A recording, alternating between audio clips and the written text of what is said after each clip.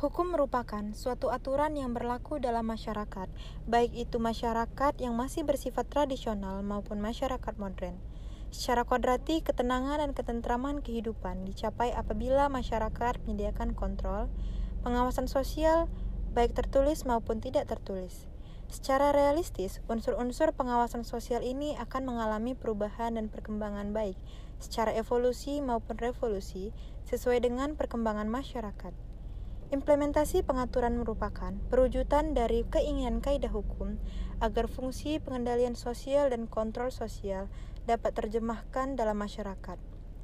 Oleh karena itu, baik hukum maupun masyarakat harus saling menyesuaikan terhadap perkembangan yang terjadi agar terjadi keharmonisan antara keduanya.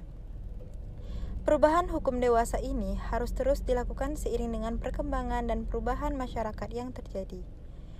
Hukum harus dapat menyesuaikan diri dengan perubahan yang ada jika tidak ingin tertinggal jauh di belakangnya. Upaya pembaharuan hukum haruslah tetap menjadikan Pancasila sebagai paradigmanya, sebab Pancasila berkedudukan dasar ideologi, cita hukum dan norma fundamental negara yang harus dijadikan orientasi arah, sumber nilai-nilai dan karenanya juga kerangka berpikir hukum dalam setiap pembaharuan hukum.